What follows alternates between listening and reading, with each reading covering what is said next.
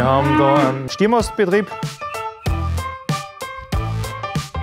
mit ca. 200 Stieren, mit 45 Hektar Ackerbau, wo schwerpunktmäßig eben für die eigene Futtermittelproduktion, sprich Silomais, Körnermais, Wintergerste und Winterweizen.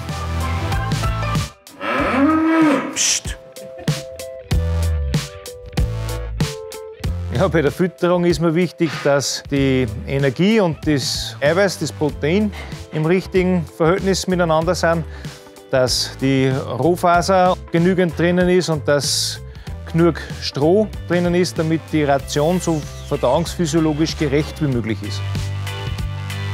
Nur ein gesundes Tier kann eine gute Leistung bringen und nur ein Tier, dem es gut geht, das äh, das Ganze in, in Leistung auch mehr oder weniger für den Bauern wertschätzt. Zu meinem Futter komme ich hauptsächlich vom eigenen Betrieb, das mir wichtig ist, dass, man, dass ich das Futter selber erzeugen kann, damit ich weiß, was in den Druck kommt, damit ich selbst bestimmen kann, wie gesund das Futter ist.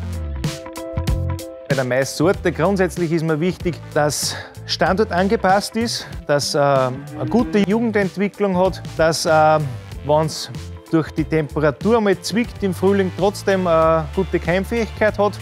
Und letztendlich ist ganz wichtig im Herbst, gerade beim Abreifeverhalten, dass wir ein langes Erntefenster, Stay Green, Verhalten haben und letztendlich, dass die Erträge auch zum Boden und zum, zur Region passen.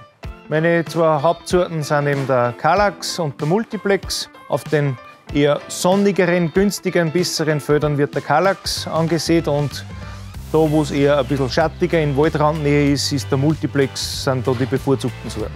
Weil einfach der Multiplex äh, gerade in den schattigen Lagen einfach äh, ertragssicherer ist, seine, seine, Stärke besser ausspülen kann und der, der Kolbenertrag einfach da optimal ist.